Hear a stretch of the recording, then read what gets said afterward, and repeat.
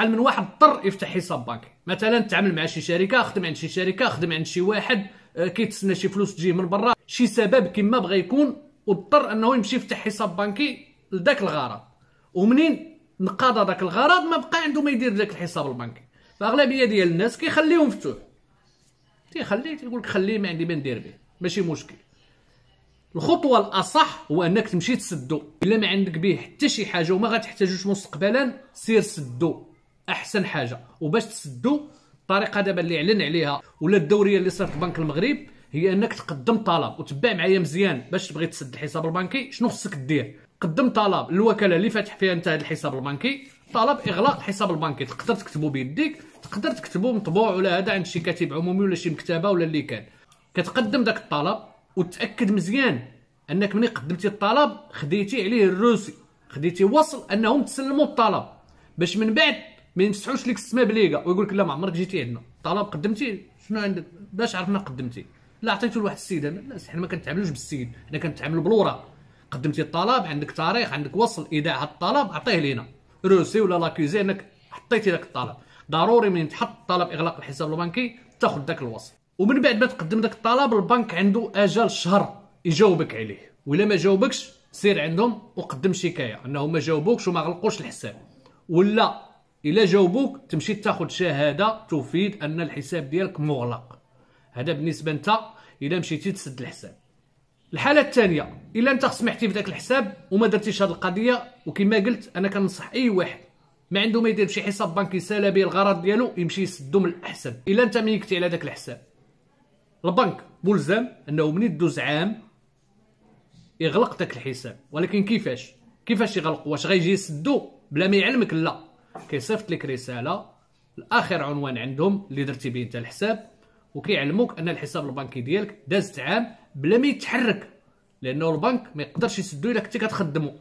إلا وقف داك الحساب ما درتي به حتى شي عملية ما سحبتي الفلوس ما حطيتي فيه الفلوس ما عطيتي فيه شاك ما درتي به حتى شي حاجة من بعد عام البنك ملزم يصيفط لك ويقول لك ودي الحساب ديالك الفلان الفلاني راه توقف ما خدامش هادي عام. وراه غنسدوه وكيتسنى البنك شهرين 60 يوم. إلا جيتي انت وقلت لهم لا ودي غنخليوه رانا غنخدمو رانا غنحتاجو من بعد كيخليوه وكيتفاهموا معاك. إلا ما جيتيش ولا قلتي لهم غنسدوه كيسدوه ولكن انتبهوا لواحد الحاجة. بنك المغرب عطى واحد الإمكانية للأبناك اللي خصنا نحظيو منها. إلا كنت غنسمح بشي compte ما نخليش فيه ال moins ما نخليش فيه الناقص. ما يكونش كيسالوني 20 درهم ولا 100 درهم في ذاك ال compte ونخليها.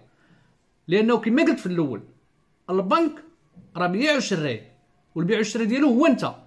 فاذا خليتي تما غير 20 درهم فهو كيحسب أنه سلفها لك عطاها لك كريدي كيبدا يحسب عليك les intérêts ويحسب عليك المصاريف اللي كنتفق معاك ديال ال compte ويحسب عليك بزاف د الحوايج. فهاديك ال 20 درهم تقدر الشهر الأول تولي 40 الشهر الثاني تولي 80 الشهر الثالث تولي 100 وهي كتطلع.